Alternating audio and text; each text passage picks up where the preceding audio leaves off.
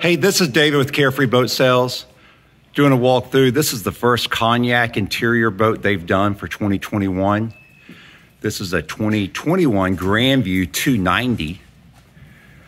We put an extra foot in the front on this one, two feet in the rear.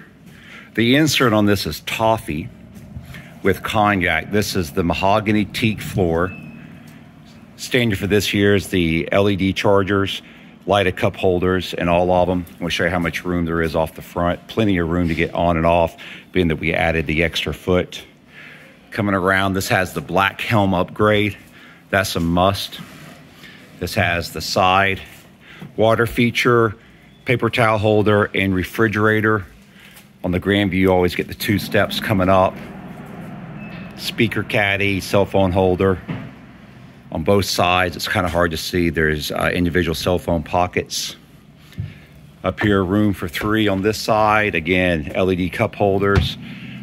This is the kind of platform you get when you get the extension off the back. Tons of room. This is the Padness six-step walk-down feature. All the stairways are lit LEDs. And then this is the 2021 helm we've become familiar with. Wireless phone charger, all metal push buttons.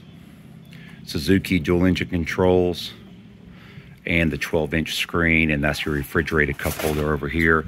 Let me kind of give you a top view. If everybody remembers a couple years ago, they had a color like this and unfortunately they didn't bring it back. But this in person is absolutely gorgeous. Very unique.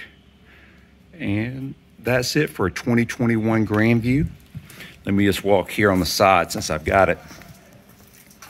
This is the back, tons of room. The both of the power controls for the batteries, the house battery is over here, built-in battery charger, and then over here is the second bank of batteries. And then this is a nice little view from this side. You all see us post a couple videos online of some performance testing we just did. We just did a zero to 20 on this boat in 2.4 seconds, which is insane. Top speed was about 54 miles per hour. Take care. Bye.